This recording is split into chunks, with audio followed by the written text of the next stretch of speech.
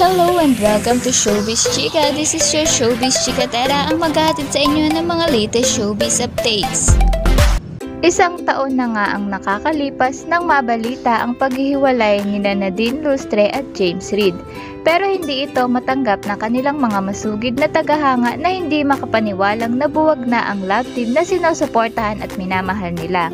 May mga naniwalang fake news ang Jaden breakup pero sa pamamagitan ng isang official statement na binasa ni Boy Abunda sa show nitong Tonight with Boy Abunda noong January 20, 2020, kinumpirma ni na James at Nadine na hiwalay na sila.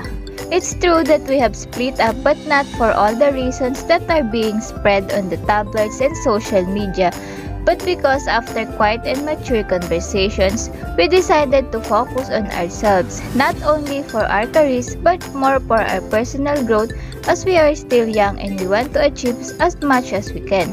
Bahagi ng joint statement nila Nadine at James na nagdulot ng labis na kalungkutan sa kanilang loyal fans. Ngunit ngayong 2021 may dapat ipagbunyi ang diehard supporters ng Jaden dahil kinumpirma ng mga malalapit sa kanila na nagkabalikan sila sa panahon ng coronavirus pandemic. Ayon pa sa mga ito, magkasama ang dalawa sa bahay ni James sa isang exclusive subdivision sa Quezon City.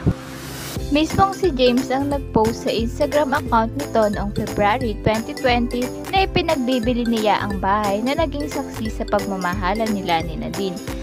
Pinatotohanan naman ng isang source ng Covenant Files na hindi natuloy ang pagbebenta ni James sa Quezon City love nest nila ni Nadine.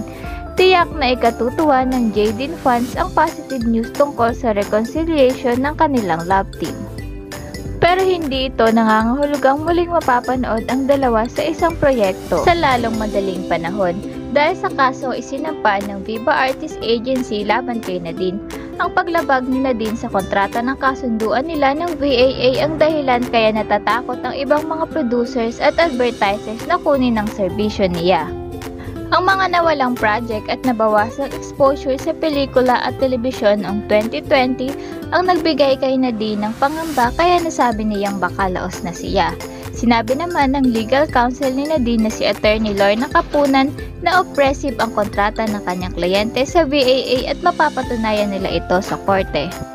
At hanggang dito na lamang ang aking chika sa ngayon. Kung nagustuhan mo ang aking video, just drop a like, leave a comment, at huwag mong kakalimutan mag-subscribe sa aking channel para sa mga susunod ko pang showbiz chika.